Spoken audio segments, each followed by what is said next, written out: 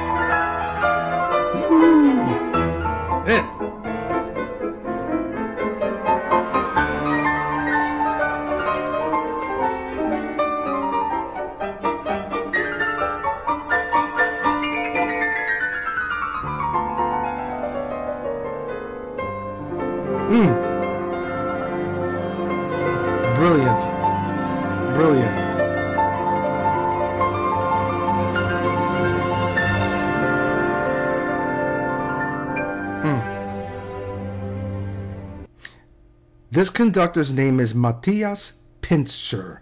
Pintscher. Edvard Grieg. Let me tell you a little bit about Edvard Grieg before we go further, okay? He was a Norwegian composer and pianist.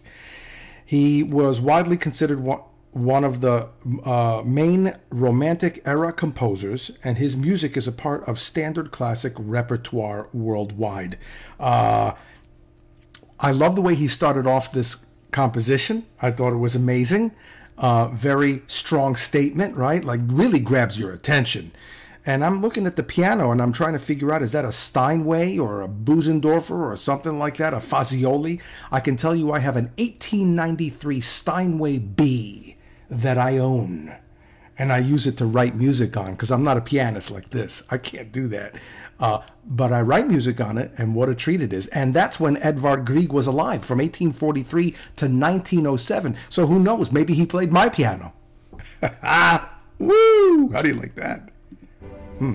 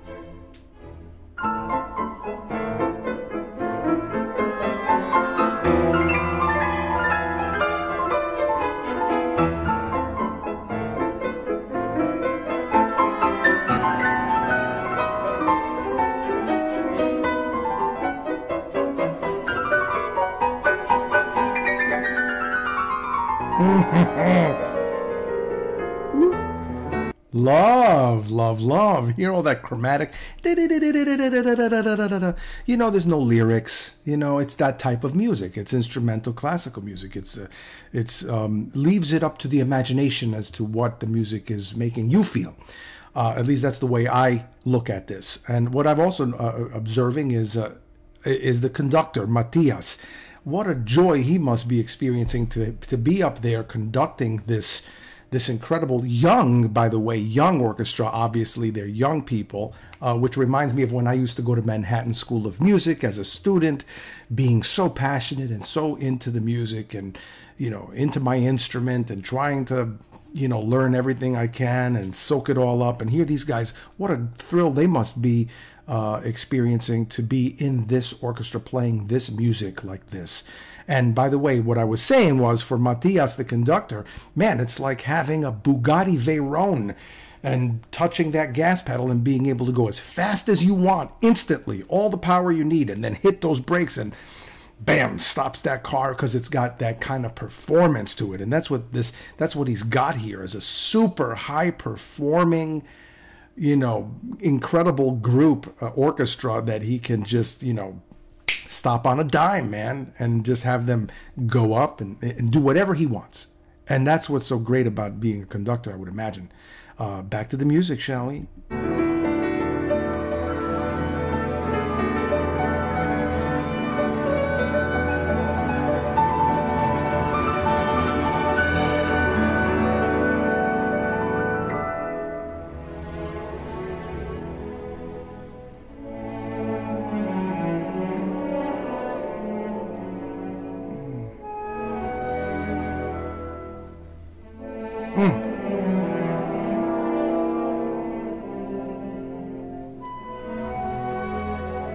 What is that saying?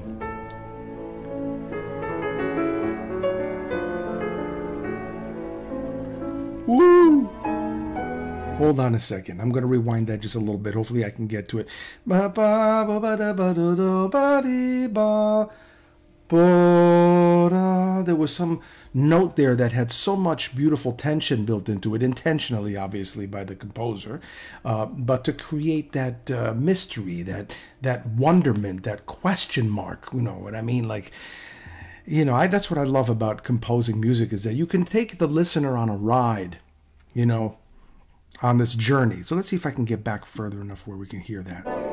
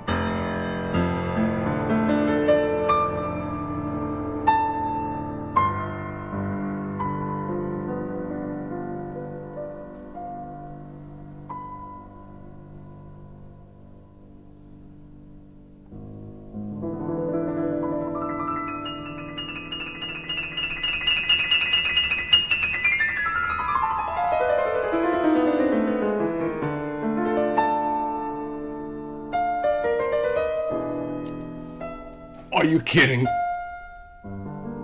Hold on a second. You know, when, you know when, when you hear those little those little dark tones, you know those little passing or or those little passing tones which which almost sound wrong. They sound wrong. They're like, what? It doesn't seem to fit. I'm trying to put it in ways that maybe most people would understand. Those little passing notes, those are very intentionally placed there. They're very intentionally placed there to uh, manipulate our feelings and make us feel certain ways. Of course, he's expressing the composer's expressing himself, uh, but it's you know this is that's relationship that's going on there, right?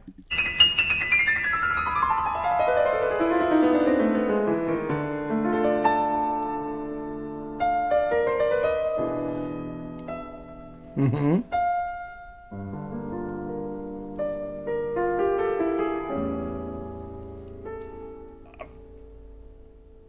I'm not gonna lie. I love that stuff because I like the unpredictable. I like it when they throw when a composer throws it in there and it's like, really? Are you really doing that to me?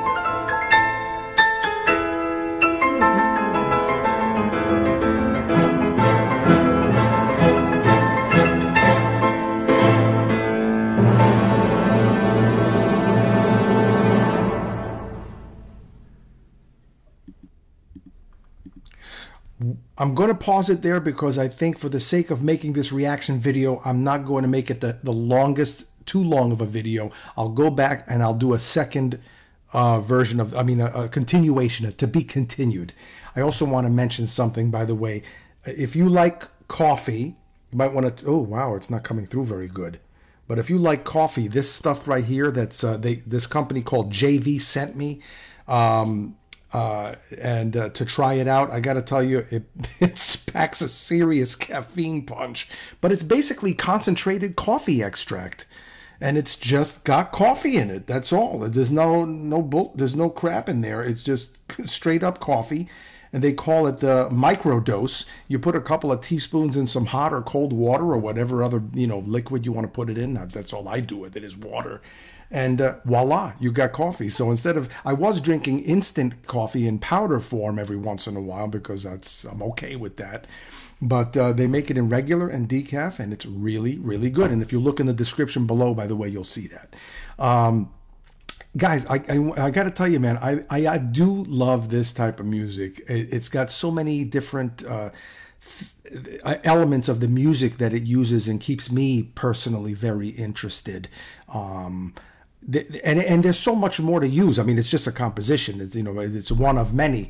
Um, you know, like rhythmically, this this particular music is not uh, quite uh, maybe as adventurous as some other music might be, uh, but and and harmonically, you know, it's still ad, adventurous. But I mean, you're probably wondering why is Matt even talking about like adventure in the music? Well, you know, I, I, what I'm trying to illustrate in, is that there are so many music is deep. You know, there's so many colors you can use, so many rhythms you can use, uh, and and and and give the music a lot of interest and variety.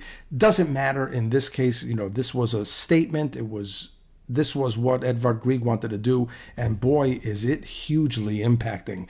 It stood the test of time. We you you recognize the sound. Ba ba dum ba ba dum ba ba dum ba ba dum you know, we all have heard that.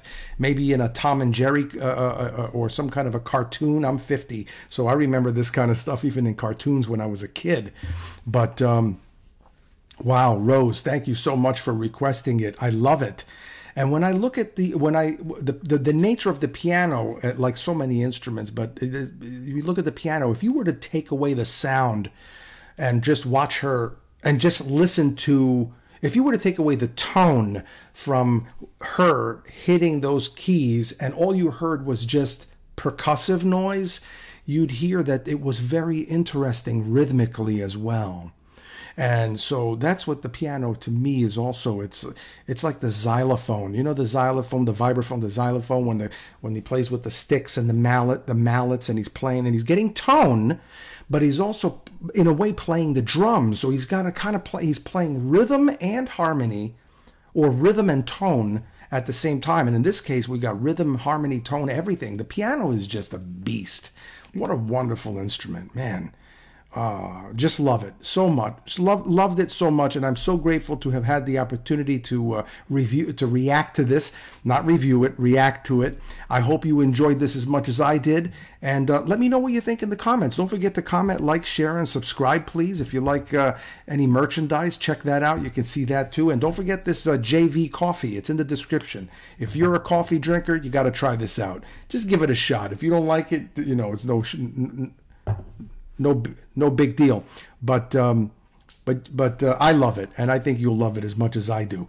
At any rate, guys, hey, it's nice to be important, but it's more important to be nice. And you take it easy, and if it's real easy, take it twice.